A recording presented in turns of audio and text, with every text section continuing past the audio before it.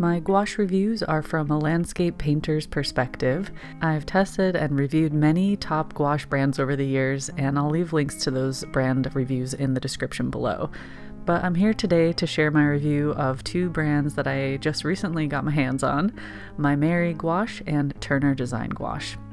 Let's dive in, starting with Maimeri.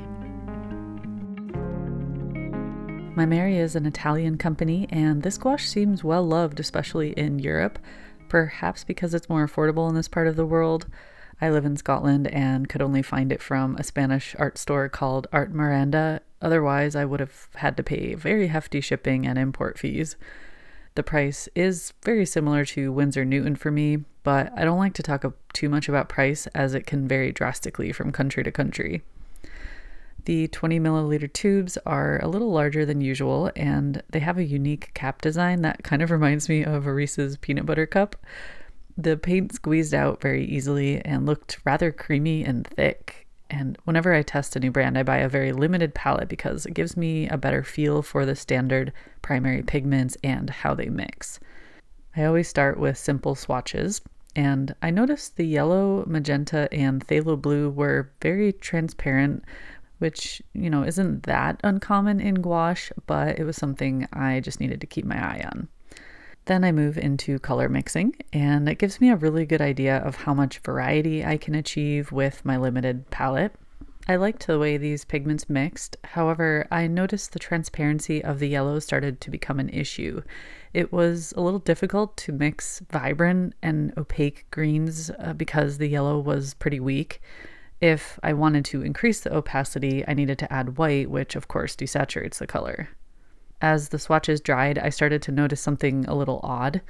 It's sort of hard to show on camera, but the colors looked quite pastel or a little dull or maybe a little chalky, some might say. I dug out my Holbein swatches to compare, which confirmed what I saw. Normally, high quality gouache is extremely vibrant and rich, but the Maimeri definitely had a very pastel or chalky or cloudy appearance.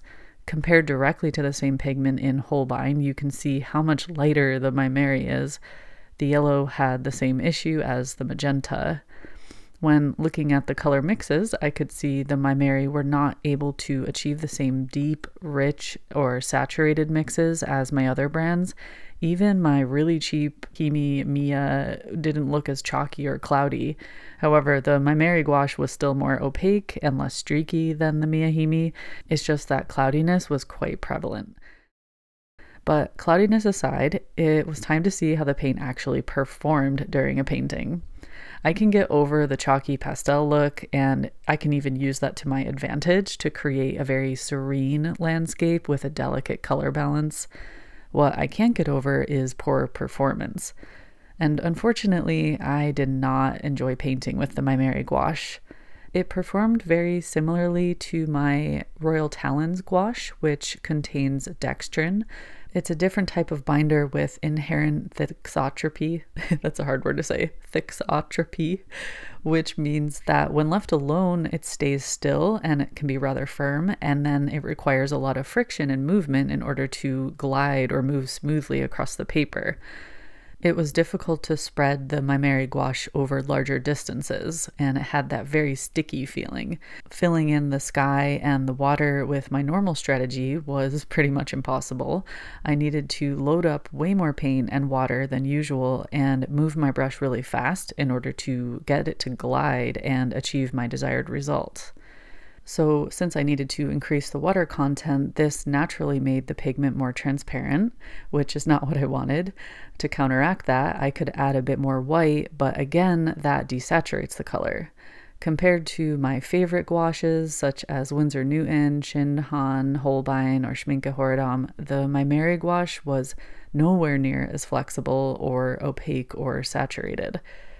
I actually didn't even bother finish the painting to my standards because I was just annoyed and I wanted to be done painting with it. If you don't need to fill in large areas of opaque, vibrant color, this paint might be completely fine for you. It's just, we all require different types of properties in our paint to achieve our desired results. For me, doing a landscape painting requires bigger areas of color. I have to spread the paint very far over the paper, and this paint was just not fun to use. So while it's far from the worst gouache I've ever used, for the price, it definitely wouldn't be worth buying more of this in my case. So if anyone in the UK is watching this and wants to try it, I'll send it to you.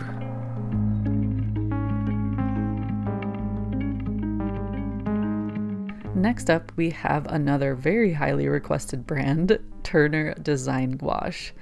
Oddly enough, this paint is extremely popular, but barely available where I live. Its cousin, the acrylic gouache version, is readily available, but not the design gouache. So, again, I had to purchase this through the Spanish art store because it was the most affordable and closest option to me in Scotland. These tubes were almost the exact same price as the Maimeri Extra Fine Gouache, but the tubes were even bigger, coming in at a whopping 25 milliliter, which is 10 milliliters over the standard size on the market. A few of the colors had a bit of binder separation, which is not super uncommon in gouache, but just something to watch out for.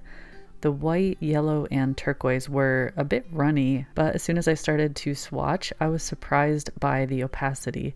Even the yellow was opaque, which is much more rare in gouache, but a very pleasant surprise.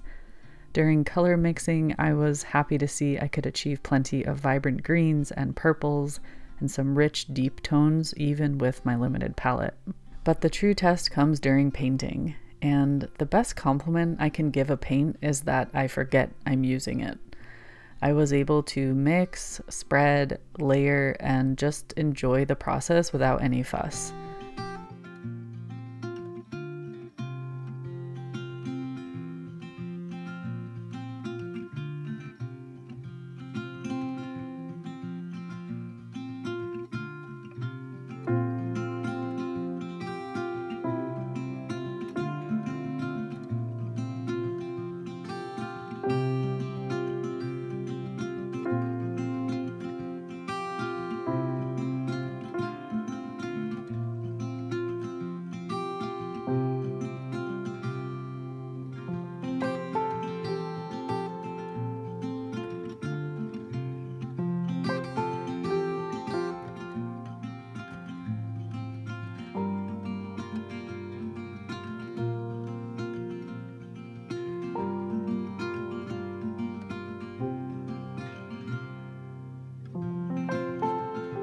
Mostly, I enjoyed the fact that I could layer rich saturated greens that were actually opaque without adding a lot of white.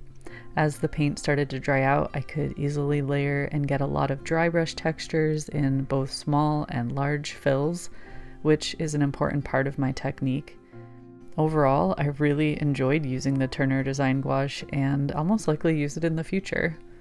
I've updated my gouache database with these new brands and my rankings, and I'll start the Lightfast test soon and then update that in the future. Let me know if there are any other brands you would like me to check out, but of course, make sure to look at the reviews I've already made as I share tons of information there. Thanks for joining me today, and I'll see you all next time. Take care.